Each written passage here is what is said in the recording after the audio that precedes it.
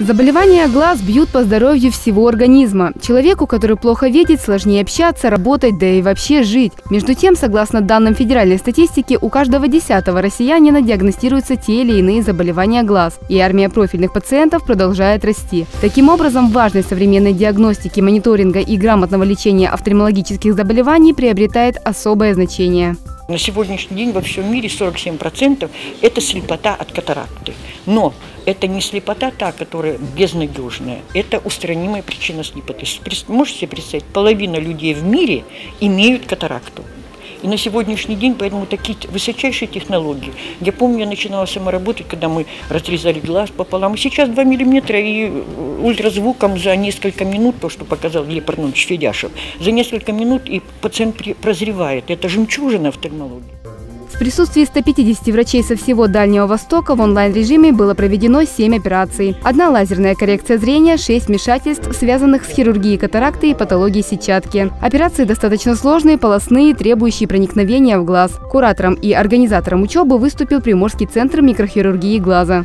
Это очень сложный момент, потому что хирургия это всегда непредсказуемо, и операция в любой момент может э, пойти по тому сценарию, который не предполагался. Но, э, как мы с вами уже видели, все проходит очень гладко. В штатном режиме в хирургии справились э, на отлично, э, хотя пациенты были достаточно сложные, это были серьезные пациенты, которые подбирались и готовились к данным операциям за достаточно большой период. За хирургическим столом врачи из ведущих клиник Москвы, Краснодара, Санкт-Петербурга и Владивостока. Приморским врачам вообще есть что показать и рассказать. За последние несколько лет уровень офтальмологии в крае заметно вырос. Во многом благодаря Приморскому центру микрохирургии глаза. Научно-практический центр по лечению глазных патологий смещается с европейской части России на Дальний Восток.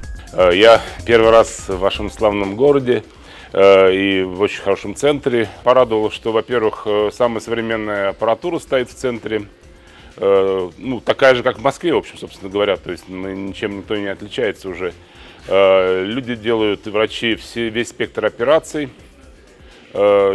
тоже, в общем, наверное, может быть, чему-то есть поучиться из Москвы, но сейчас все меньше и меньше, так сказать, даже бывает часто и по приезду мы чему-то нового узнаем э, на местах, так сказать, того, что сами не делаем мы.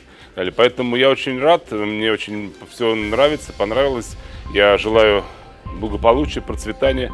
Многие сложные операции на глаза, которые раньше были новаторскими, сегодня переходят в разряд рядовых. Для их проведения в Приморье есть все необходимое оборудование, врачи высокого уровня и материалы. Мы сегодня оперировали пациента, 64 года, мужчина. Мы один глаз прооперировали неделю назад, второй глаз оперировали сегодня. Имплантировали э, мультифокальную интраокулярную линзу, которая позволяет пациенту избавиться полностью от очковой коррекции данный вид операций высокотехнологичных. А, она относится к разряду, э, тот хрусталик, который мы имплантировали сегодня, относится к разряду премиум иол, премиум линз. В Приморском центре микрохирургии глаза в день подобных операций проводят порядка 20, в месяц 400. Имплантация хрусталиков глаза занимает две трети от всего объема операций. Хочется отметить целесообразность и на Дальнем Востоке вообще э, данных конференций, потому что, как правило, они всегда проводятся в центральной полосе России, мегаполисе, а здесь как бы это.